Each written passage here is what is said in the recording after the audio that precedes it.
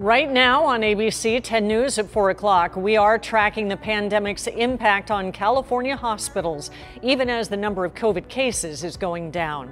Plus, what the county could do to protect tenants from being evicted amid the pandemic.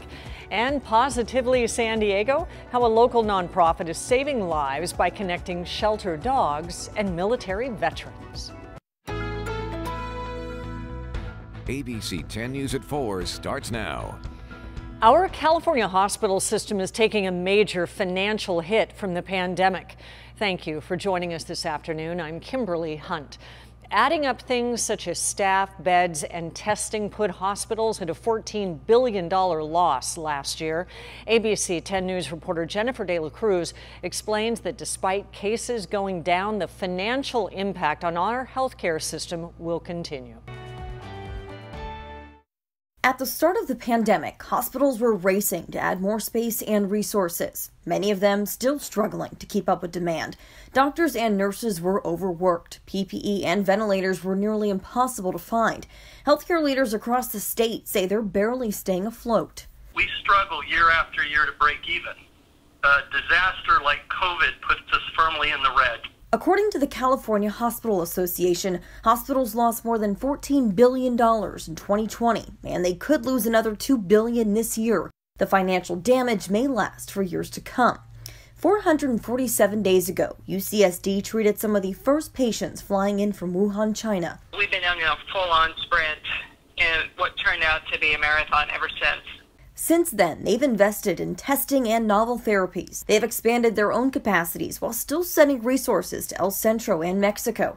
And they launched the state's first vaccine superstation at Petco Park. UCSD CEO Patty Maysent says all of those costs are adding up. The financial impact of COVID swept over $200 million off of our UCSD health balance sheet. Dollars we were preserving to rebuild our Hillcrest Hospital. But things are on the right track. With cases in California lower than any other state, local leaders say hope is certainly on the horizon. Our economy is coming back. Kids are back in school. Uh, our Padres are winning. Uh, people are getting vaccinated. Uh, all in all, uh, we're, we're in a really good position and continue to do very well. Jennifer Dela Cruz, ABC 10 News. Hospital leaders say they're hoping for additional state and federal funding to help offset their losses. President Biden wants to give more money to families. Tonight, he'll hold his first address to Congress. He's expected to announce the nearly $2 trillion American Families Plan.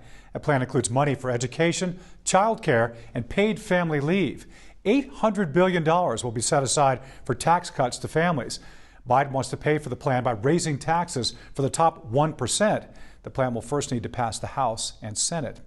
Meanwhile, President Biden's address to Congress will look a little different than in past speeches. Not all members will be invited to watch in person. Social distancing will also be enforced. It will also be the first time that two women will sit behind a president during the speech. Speaker Nancy Pelosi has been head of the House for years, but tonight she'll be joined by Vice President Kamala Harris as head of the Senate. Senator Tim Scott will give the Republican Party's response. President Biden will talk about his new American Families Plan tonight. One proposal in the $1.8 trillion plan calls for free two year tuition at all community colleges. The San Diego Promise already guarantees that for some local students. So we're taking an in depth look at how a federal program could change things here. We spoke with Dr. Constance Carroll of the San Diego Community College District. She says a federal community college program could expand who would qualify for the San Diego Promise. Most community college students are part time students. Uh, and uh, they work, they have families, and the like. If, if President Biden's uh, effort succeeds, then we will have much greater uh, flexibility to reach many, many more students. Right now, the San Diego Promise program only gives free two year tuition to first time, full time students. If a federal program is enacted, as you heard, it could allow the program to expand and include part time and returning students. You can watch President Biden's address live right here on ABC 10. We will begin that at 6 o'clock, followed by a special edition of ABC 10 News at 8 o'clock tonight. People in the East County continue to fight to keep two convicted sexually violent predators out of their area. And their county supervisor, Joel Anderson, is taking up the cause. He says the dumping of so many sexually violent predators in the East County is disproportionately affecting some of the poorest communities.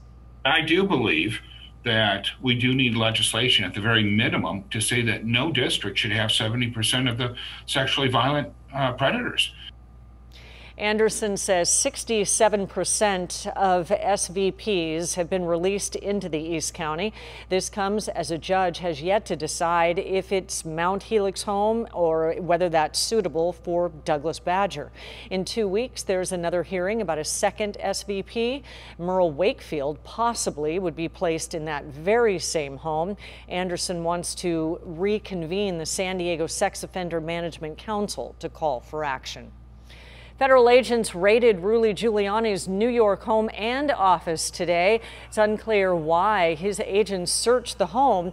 The New York Times reports that investigators seized Giuliani's electronic devices, including his phone. The search comes amid the ongoing criminal investigation into Giuliani. The former New York mayor and lawyer to former President Trump has been the focus of a probe concerning his activities in Ukraine. He denies any wrongdoing and has not been charged charged. The police body camera footage from the death of a black man in North Carolina will not be publicly released anytime soon. Today, a judge delayed the release but did allow the family of 42 year old Andrew Brown Jr. to view a redacted version of the recordings. Sheriff's deputies fatally shot Brown last week while trying to execute a warrant. The family says the shooting happened as Brown was trying to drive away. Peaceful protesters have been taking to the streets calling for the public release of the full, raw body camera footage. The three men charged with murder in the shooting death of Ahmaud Arbery in Georgia are now facing federal hate crime charges as well. Arbery, a 25 year old black man, was out for a jog near Brunswick, Georgia in February of last year, and that's when he was chased down in a truck by three men and fatally shot. Today, the Justice Department indicted Travis McMichael, his father Gregory, and William Bryan on hate crime, attempted kidnapping, and gun related charges. Warning signs are now posted at the San Elijo State Camp Campground after a small cliff collapse. This is in Cardiff, and Sky 10 was overhead around 2 o'clock this afternoon. No injuries were reported. Lifeguards are warning to stay away from this area.